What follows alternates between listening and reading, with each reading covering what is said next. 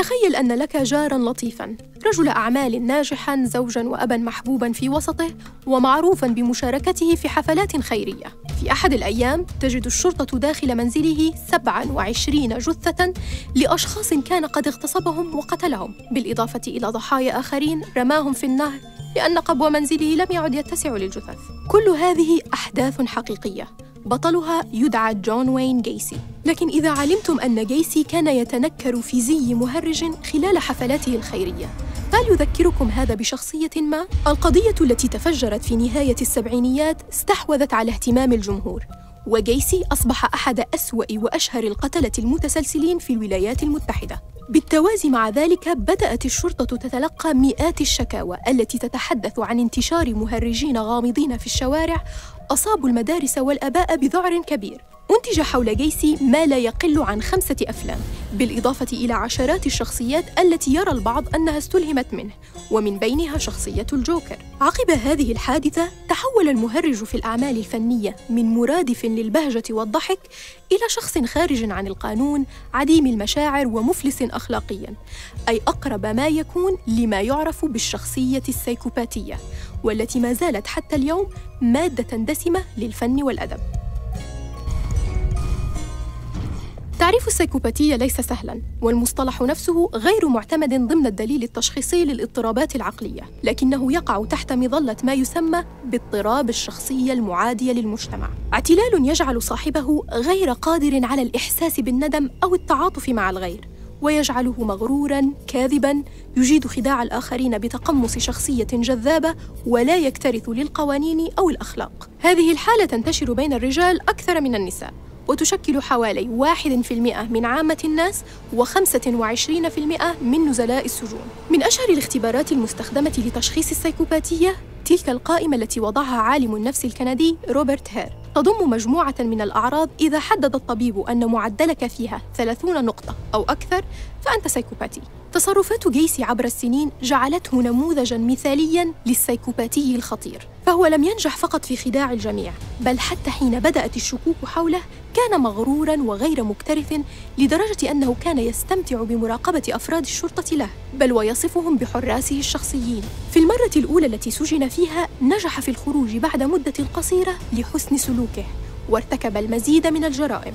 وفي المرة الثانية التي أدين فيها استطاع جذب الكثير من المعجبين والمدافعين وكان يتلقى مكالمات وزيارات أكثر من أي سجين آخر حتى إنه قرر أن يخلد شخصية المهرج التي كان يتقمصها عبر رسم لوحات بيعت بمبالغ كبيرة ولكن هل ولد جيسي سيكوباتياً أم أنه تحول إلى سيكوباتي مع الوقت؟ في أوائل التسعينيات قارنت دراسات بين أدمغة السيكوباتيين وغيرهم ورصدت لدى المجموعة الأولى انخفاضاً في النشاط داخل أجزاء من المخ مرتبطة بمعالجة العاطفة والتحكم في الانفعالات مع وجود أدلة على أن هذه الحالة قد تكون وراثية أو تعود لمرحلة مبكرة من النمو، إلا أن العلماء أشاروا إلى دور كبير للنشأة والبيئة في تحويل هذا الاستعداد البيولوجي إلى اعتلال نفسي. بالنظر إلى طفولة جيسي نجد أنه عانى لسنوات طويلة من التعنيف والتحقير من قبل والده. تقارير أشارت أيضاً إلى تعرضه لحادث أصابه في الرأس. كان يعاني جراءه من نوبات صرع لكن والده أصر على أنها محاولة منه لجذب الاهتمام. هل هذا يعني أن جيسي ما كان ليصبح هذا المجرم لو كانت طفولته مختلفة؟ الجواب على الأغلب نعم. هذا ما يؤكده عالم الأعصاب الأمريكي جيمس فالون. الذي اكتشف أثناء دراسة أجراها على نفسه وعائلته أن هناك تشابها كبيرا بين مسحه الدماغي والمسح الدماغي لسيكوباتيين مجرمين. ووجد أيضا أن لديه عوامل وراثية يعتقد أنها تدفع لتبني سلوك عنيف. وفي رأيه أن الأمر الذي منع تحوله إلى مجرم هو أنه نشأ في بيئة صحية وسط عائلة محبة.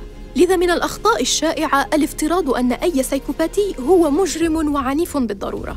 عدد من الرؤساء والأكاديميين ورجال الأعمال وجدت دراسات أن لديهم سمات سيكوباتية لكنهم أشخاص ناجحون ولم يتورطوا في مشاكل قانونية طوال حياتهم. على العكس سيكوباتيتهم كانت عاملا مهما في نجاحهم لأنها تجعلهم لا يخشون المخاطرة ولا ينخرطون في جلد الذات ولوم النفس إذا ساءت الأمور. لنعد إلى المهرج القاتل. هل كان ممكنا علاج جيسي من هذا الاضطراب؟ التجارب المختلفة تشير إلى أن أي خطة علاجية تتطلب تفاعلا من المريض بينما السيكوباتي يرى أنه لا يعاني من أي مشكلة ويكون راضيا عن نفسه بشكل مبالغ فيه ويستاء من أي جهة صاحبة سلطة حتى ولو كانت طبيباً بل إن العلاج قد يكون سبباً في تفاقم الحالة لأن معرفة معلومات عن مرضى آخرين تساعد السيكوباتي على تطوير مهاراته في الخداع. لكن بعض الجهود أظهرت نتائج ملحوظة في العلاج المبكر للسيكوباتيين الأصغر سناً. ورغم الجدل حول علاج السيكوباتية إلا أن المحاكم عادة لا تسقط المسؤولية الجنائية عن السيكوباتي بحجة المرض العقلي مبدئياً لأنه شخص يعي تماماً ما يفعل. وهذا ما حدث مع جيسي الذي نفذ فيه حكم الإعدام وسط تجمع حشود متضامنة مع الضحايا خارج السجن. آخر كلماته كانت أنه بريء تماماً. التعرف على رفات ضحاياه استمر لعقود بعد موته واحتفظ بدماغه لإجراء عدد من البحوث. لكنها حتى اليوم لم تكشف عن أي أمر لافت ليبقى هذا شاهداً على تواضع معلوماتنا حول العقل البشري هل تريدون التعرف على أي ظواهر نفسية وعقلية غامضة؟ اكتبوا لنا مقترحاتكم في التعليقات ولا تنسوا الاشتراك في قناتنا لمزيد من القصص